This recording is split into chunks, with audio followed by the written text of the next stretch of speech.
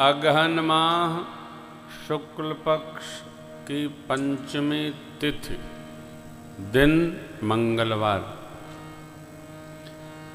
गोधुली वेला में, गोधुली मैंने गौ माताएँ जब चर कर और अपने निज निवास की ओर आती हैं, धूल उड़ती है। गोधुली बेला सूर्य भगवान अस्ताचल की ओर जाते हैं। संध्या काल उपस्थित होने को होती है। वह वेला गोधुली वेला है। इस समय बारात द्वाराचार के लिए पधारेगी। ये मुहूर्त तय हुआ। बड़ा कठिन है। अब तो पूछना पड़ता है, हो, बैंड कै बजे वाला है? गोधुली वेला द्वार पूजा का मुहूर्त नहीं पूछना पड़ता है। बैंड कौन है हो साढ़े सात बजे वाला। वो दो जगह बजाएगा तो आएगा आठ बजे। तो बारात आई दस बजे। बजे चौकड़ी। हाँ स्वागत, सत्कार, जलपान, मिलना, सब पहले के बुज़ुर्ग आज भी जो वयो वृद्ध लोग हैं, वो कोई आवे चाहे नहीं आवे, गोधुली बेला में बारात उठा देते। हाँ। हम एक विवाह महोत्सव में सम्मिलित हुए तो उनके दामाद जी नहीं आए, लेट हो गए। जाम में फंसे होंगे बेचारे, आजकल तो देखिए ना, वाहन बहुत है। तो बच्चों ने पूछा, पिताजी, फूफा जी अभी नहीं आए? कहे, विवाह फूफा जी का है कि हमारे लड़कन का है? बारात निकासी करिए। बारात निकासी वही द्वार पूजा चल रही थी कि फूफा जी सम्मिलित हुए। जब फूफो जी भी अभ्यासी, देर हो गई, जाम में फंस गए, देर हो गई। चार बार बोले तो बाबूजी बोले, किसी ने आपसे पूछा, आप आए अपना आनंद करिए। किसी एक व्यक्ति के लिए समय को अतिरेक में नहीं डाला जा सकता है, क्योंकि मुहूर्त है।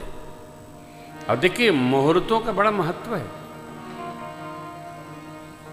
चाहे जब जो नहीं कर सकते आप, श्री रामचरित मानस जी में तो गोस्वामी जी मुहूर्त पर इतना कड़क हैं, जो भी करते हैं, मुहूर्त से करते सनातन की विधि है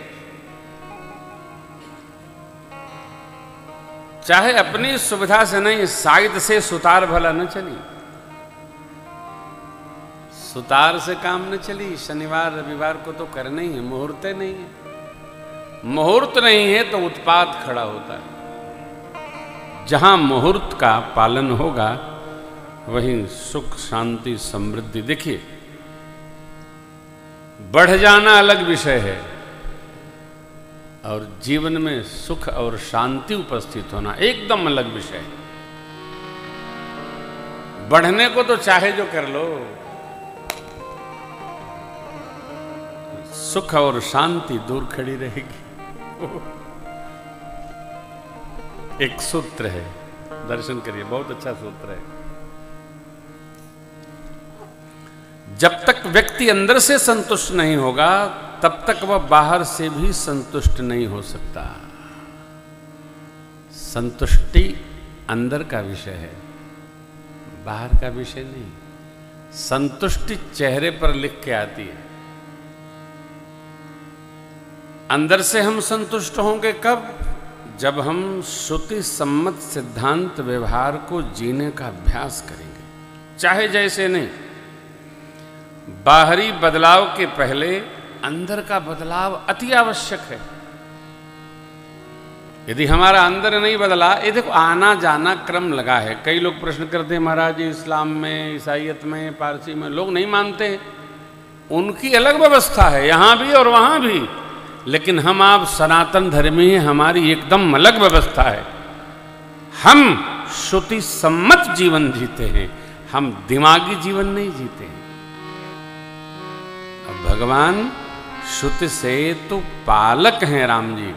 महर्षि वाल्मीकि बाबा कहते हैं श्रुति से तो पालक राम, तुम तुम जगदीश माया जान जो सृजत जग पालक, हरत रुख पाई कृपा निधान। दूसरे के बारे में चिंता नहीं करनी, दूसरे का चिंतन भी नहीं करना है। अपने बारे में चिंता करनी, अपना ही चिंतन करना है।